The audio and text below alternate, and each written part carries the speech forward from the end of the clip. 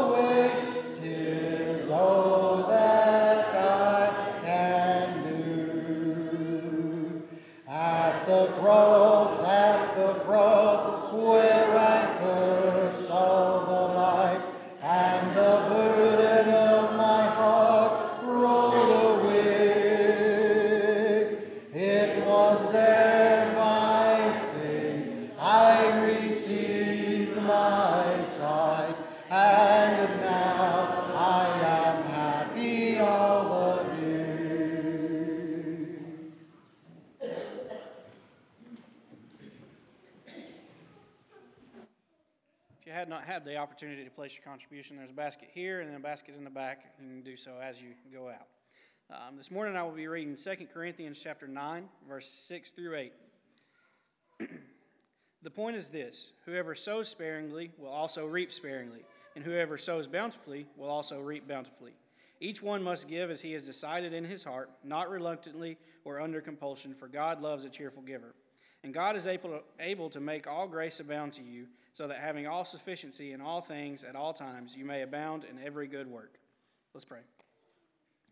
Dear Father, I just want to thank you for this day, Lord. I just want to thank you for all the many blessings you bestowed upon us, Lord. I just want to come to you now and pray that uh, we give back in a manner that is pleasing to you, Lord, in this contribution. I want to pray that uh, you bless it and uh, put it to good work in the congregation, Lord. In your name we pray. Amen.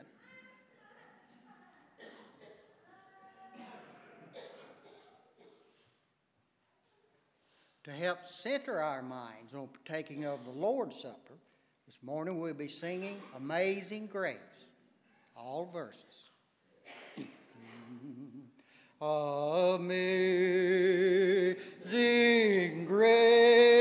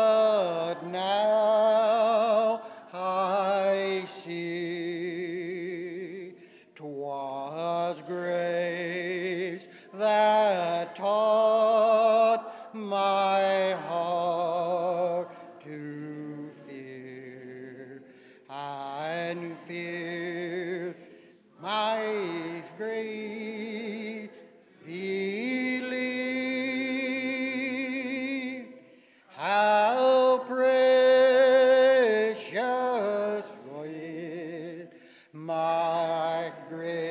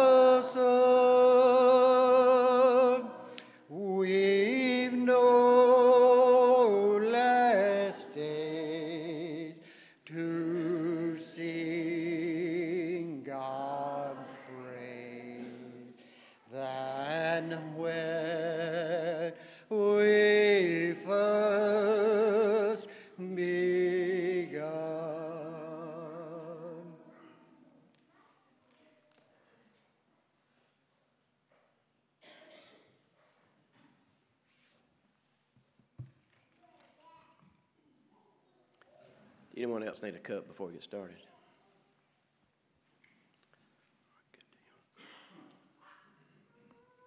Help us, help us focus our minds as well as our hearts on taking the Lord's Supper. The reading this morning is going to come from John 19, 1 through 7. So then Pilate took Jesus and scourged him, and the soldiers twisted a crown of thorns and put it on his head, and they put on him a purple robe. Then they said, Hail, King of the Jews! And they struck him with their hands. Pilate then went out again and said to them, Behold, I'm bringing him out to you, that you may know that I find no fault in him. Then Jesus came out, wearing a crown of thorns and a purple robe.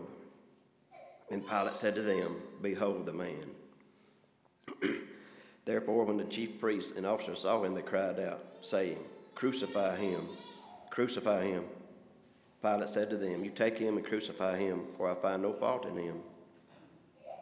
Then Jesus answered, the Jews answered him and said, We have a law, according to our law, he ought to die because he made himself the Son of God.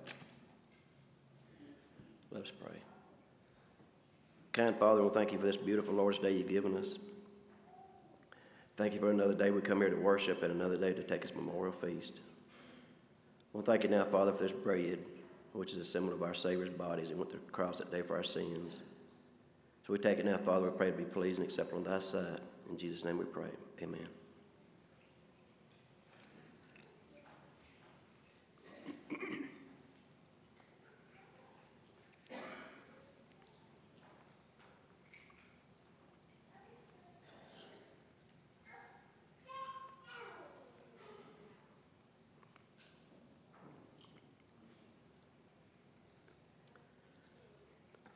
Thanks for the vine.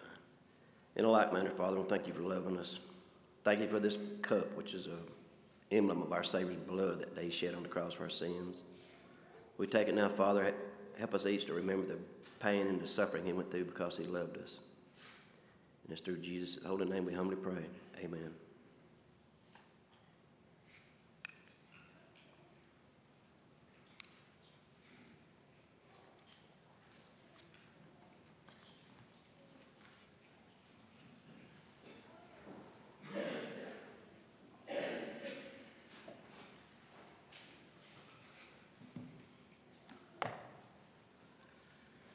Before the prayer, we'll sing, God is so. Good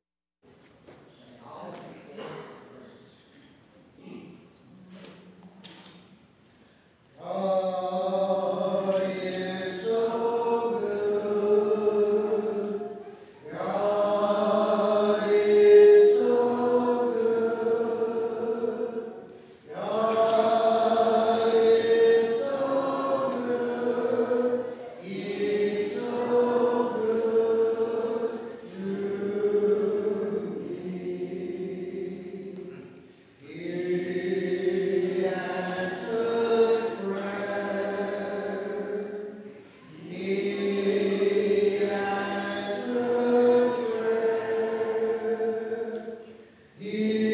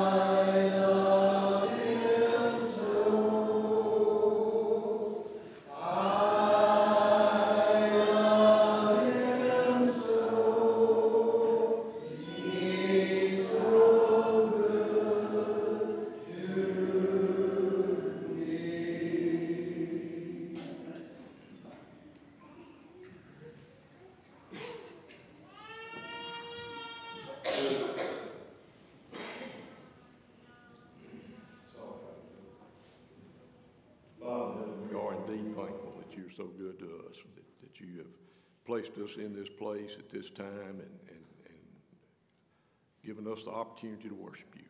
We, we appreciate this land that you've placed us in, this country that we live in. We pray that we would be good stewards of these things, that you would continue to, to help us and to guide us in the way that you would have us to go. Father, we're thankful for whatever measure of health that we have, and we're mindful, though, Father, of those who are undergoing various illnesses, are facing surgeries, recovering from surgery, those that not only this congregation, but, but relatives and friends in the community. Pray that you would be with them and those who attend to them. Father, we're thankful for, for our country. We realize, Father, that we are have many problems, but we, we pray that you would continue to be with our leaders, that they would look to you for the guidance, and that they would lead us in a way that you would have us to go. We pray especially, Father, we're thankful for your Son, Jesus, who came and, and died on the cross, and offered his blood that we might be cleansed. We pray that we would always live our lives in a way that, that would be acceptable to you, that you would continue to forgive us when we sin. In Christ's name,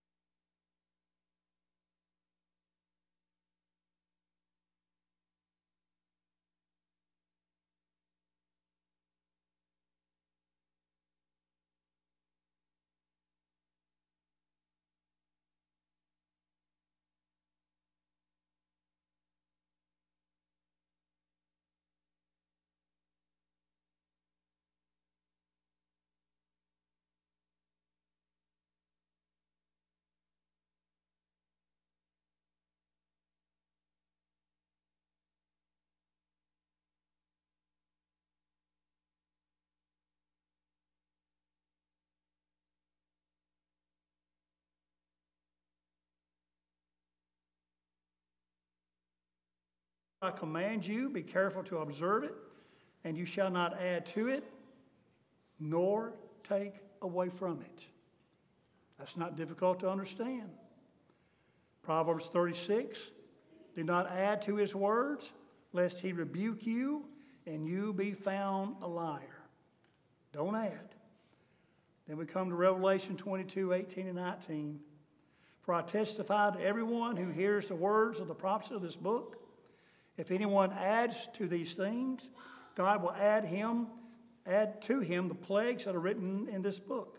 If anyone takes away from the words of, this, of the book of this prophecy, God shall take away his part from the book of life, from the holy city, and from the things which are written in this book. Don't add to, don't take away from. No addition, no subtracting. Use what God has given. Follow the proper order, the way God has put it before us. But if you choose to do so, adding or taking away, your name's going to be removed from the book of life. You will not be a part of the holy city, that being heaven. It will not go well on the day of judgment. No adding, no subtracting. And yet, we see throughout history of Christianity what has happened adding, subtracting, and now you have basically anything you want out there. Why not go back to the Word of God and figure it out, talk about it, study it, and come to a conclusion that way? But many fail to do so. That's why it's important as individual Christians that we know what the truth is and we stand for that truth and never, never vary from it. Don't add or take away because none of us want our names removed from that of the great book of life and from heaven itself. If you're not a Christian this morning, the Lord's plan of salvation is simple. We find example after example in the New Testament of what they must what they did when they were asked, What must I do to be saved? They believed with all their heart. John 3, verse 16. They repented of their sins.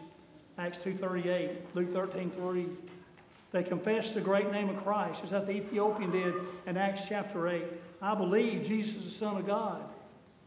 And then baptized into Christ, baptized for forgiveness of their sins. And then the Lord added them to their, his church. The Lord then washed away their sins. Therefore, live a faithful life thereafter. That's the plan, the only plan that God has given. And yet many take it and go different directions. If you want to be a Christian, there's the plan. If a Christian you see that have not lived in a most faithful way, you need to repent of that. Maybe something you just do, I'm going to repent of this, or it may be something that you've done in a, an open way. You need to repent of that, help the church. Let the church know you're sorry for this. God will forgive. Put you back where you want to be, back in this right, right with Him. If that need is there this morning, come as we stand and sing our invitation. When we walk with the Lord in the light.